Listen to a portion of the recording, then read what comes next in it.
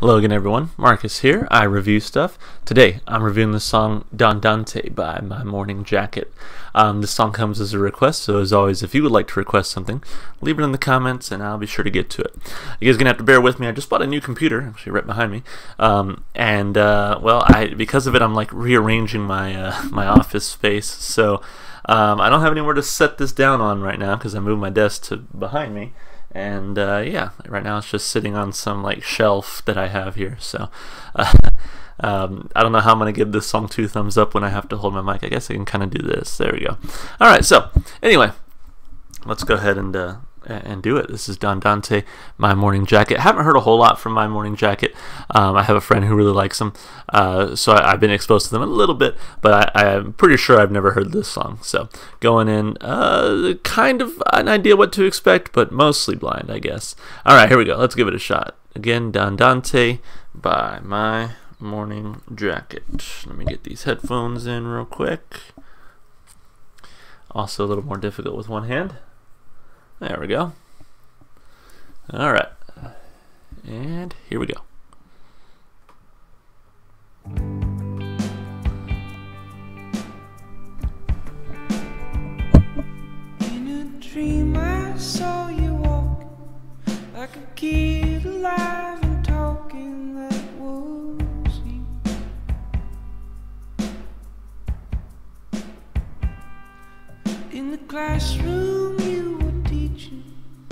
Streets,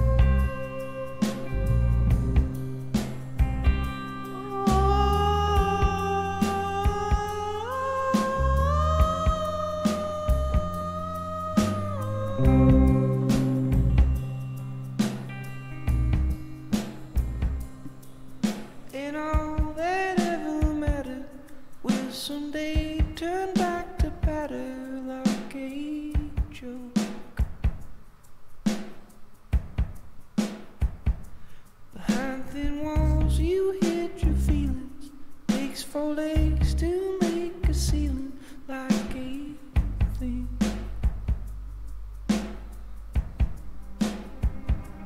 In a dream, I saw you walking with your friends alive and talking. That was you.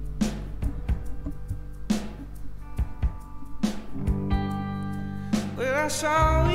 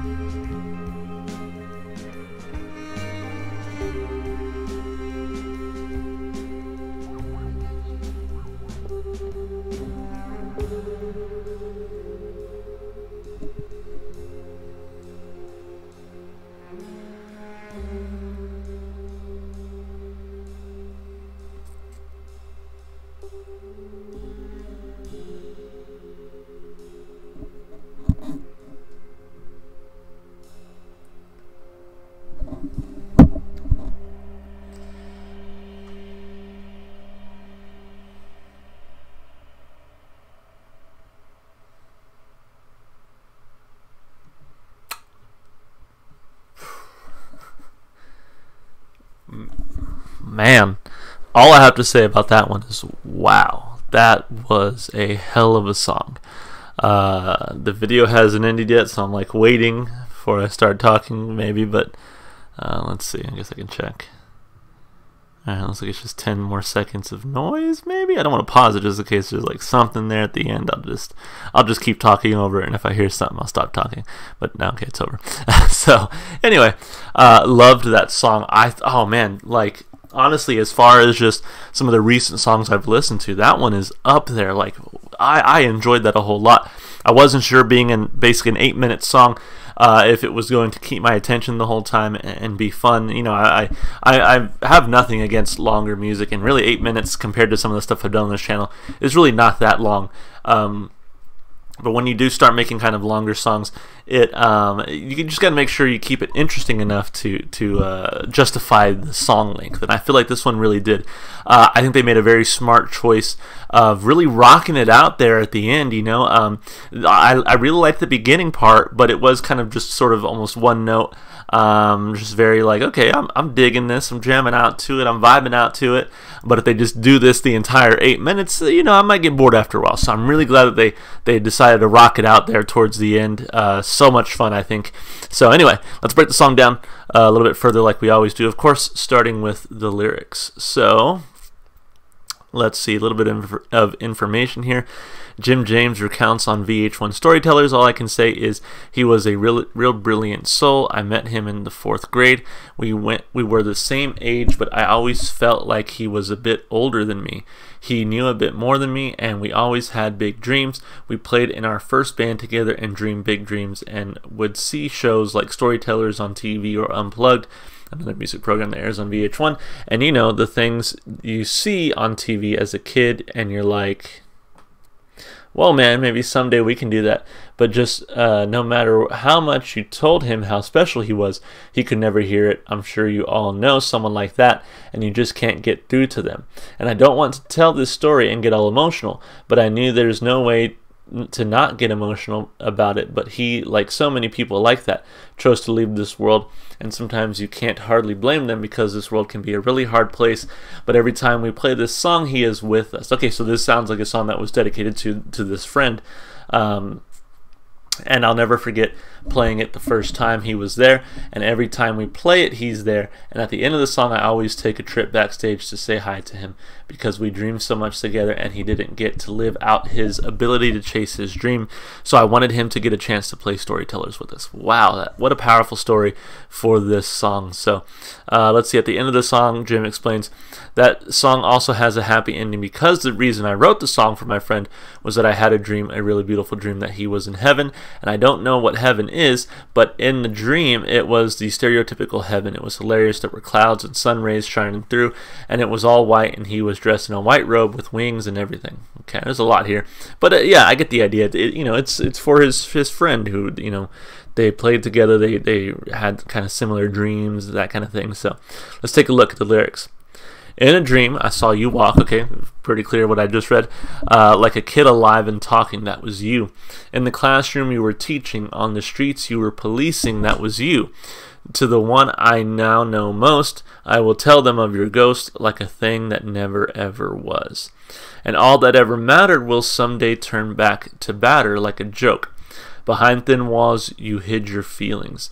Take four legs to make a ceiling like a thing. Oops. Um, in a dream, I saw you walk with your friends alive and talking. That was you. Well, I saw it in your movements, and even though you never knew it, well, I knew how sweet it could be if you'd never left these streets. So, uh, again, yeah, I saw him in a dream. He was in heaven, um, but at the same time, he still misses him. You know, so I guess in a sense, he's he's at peace because he knows his friend is in a better place. Um, but at the same time, it hurts because, as he says here, uh, how sweet it could be if you'd never left these streets. Wow, powerful stuff. I love it. You had me worried, so worried that this would last. You had me worried, so worried that this would last. But now I'm learning, learning that this will pass. Now I'm learning, learning this will pass. And that I think is referring to his grief. You know, he was afraid that his grief would last forever, as many people are when when they lose someone close to them. You know, it's like, I'm, am I just going to be sad forever now?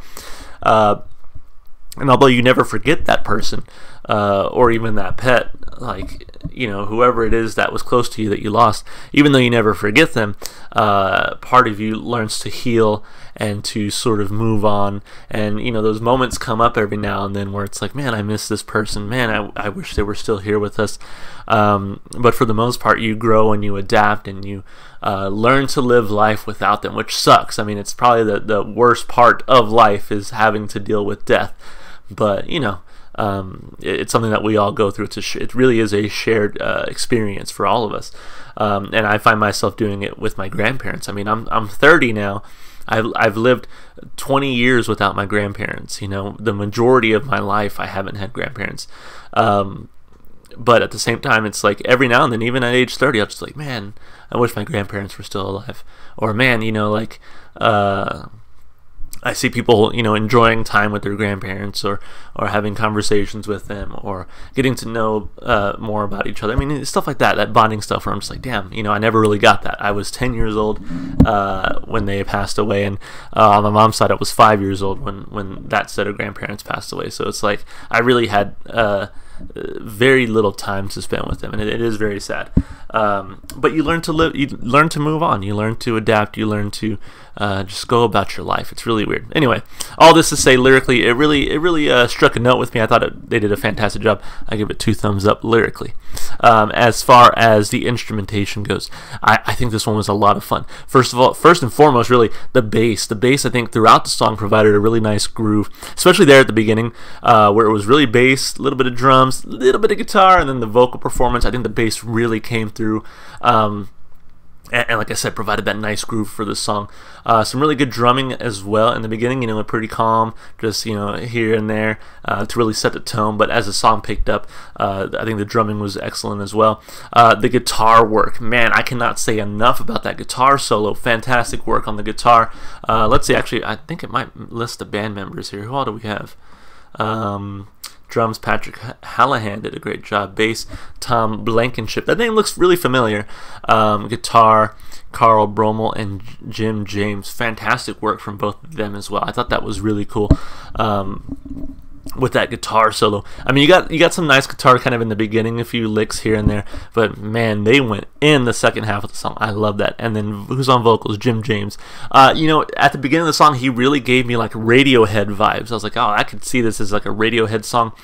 Uh, but really, as the song progressed, and, and like I said, as they started to rock out, a little bit more. You know, I feel like they kind of came into their own there. So overall, I mean, from drums to bass to guitar to vocals, I mean, this to me was a very like technically proficient uh, performance, but also just it sounded great. So for me, I give this one two thumbs up instrumentally and and vocally as well.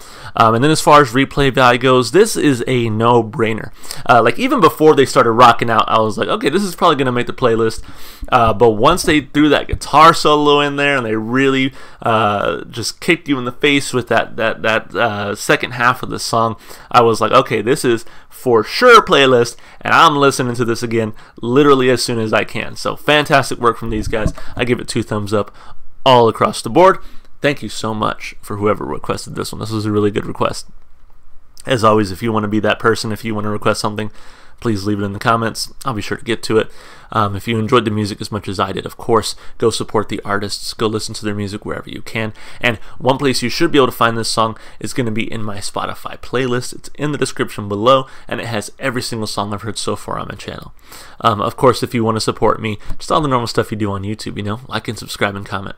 Alright, guys, that's going to be it for me. Hope to see you on the next one. Bye for now.